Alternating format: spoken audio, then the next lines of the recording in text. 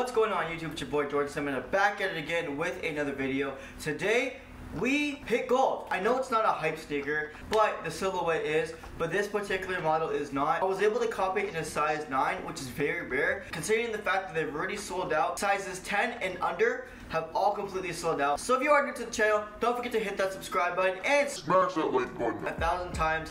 I am gonna do a giveaway if I get to a thousand subscribers. Guys, the video that I did on the Yeezy Ventus, thank you so much. It's literally almost at 1400. Can we get to 2,000 views and 50 likes? If we do, maybe we'll even do the giveaway sooner. Comment down below if you think that's fair. Without further ado, let's get into this. Bam! So, we got our Jordan box right over here. This is actually one of my first pair of mids that I've actually had in a very long time. Um, these ones are the black metallic gold and white. So if you guys are not familiar with those ones, they are like a patent metallic type. Obviously it's not like the black patent. Those are going for a ton of money.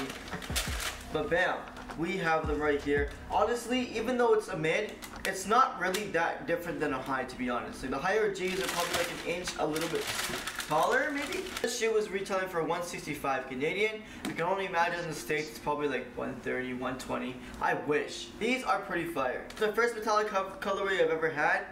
But they are super clean. Like you can't go wrong with black and white and with a little bit of gold. It is a little bit flashy, but you know, it's a Jordan 1. So let's get to the materials right now. So surrounding the upper, we've got the patent leather. Very nice quality material. It's very firm. It's nice and glossy. Feels very smooth. Very, very nice quality shoe. You've got really stiff leather. It's not like one of those leathers like you see on the Defiance or any other ones. It's very smooth. It almost feels like it's suede, but it's not. The side panels feels a little bit more smooth and a little bit more firm. Next, the laces are completely white. They do come with a spare black pair of laces, which is pretty nice.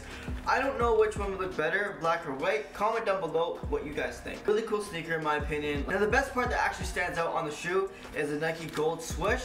Nice patent material, just like the ones surrounding the upper.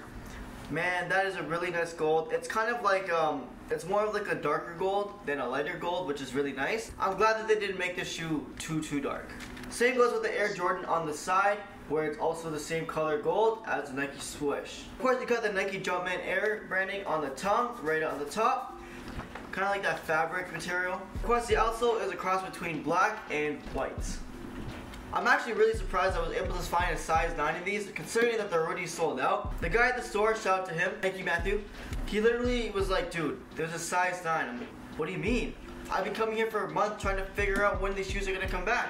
I'm beginning to learn once a Jordan 1 is stocked, and if it restocks once or twice, it's never going to restock again. And we're going to have to face the fact that you're going to have to pay resale.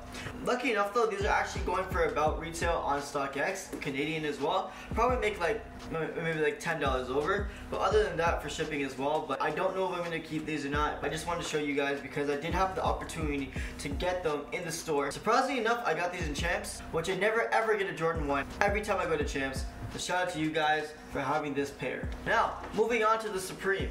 I'm not gonna lie, week six is a dud. It's nice because you finally get a couple, couple nice t-shirts, but other than that, that's really what it's for. Of course, you have that picture case, which is pretty fire, and I'm, I'm not even joking. These literally look like ugly, if not advanced, Christmas sweaters. No, these are not it, Chief. These are not it at all. We've got the Cupid C.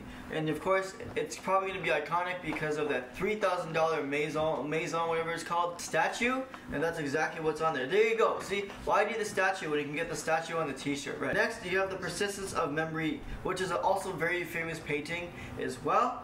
This is really cool. This is actually the piece that I want to go for for the personal, just because it's very wearable. I like how the graphic looks like it's ongoing on the side. So I really hope that turns out to look better in person. Stay tuned for the Supreme Week 6 live cop for tomorrow. Those are my thoughts. Those picks were my thoughts of what I want to cop tomorrow.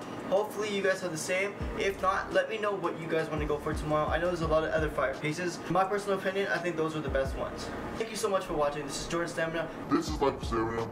Peace.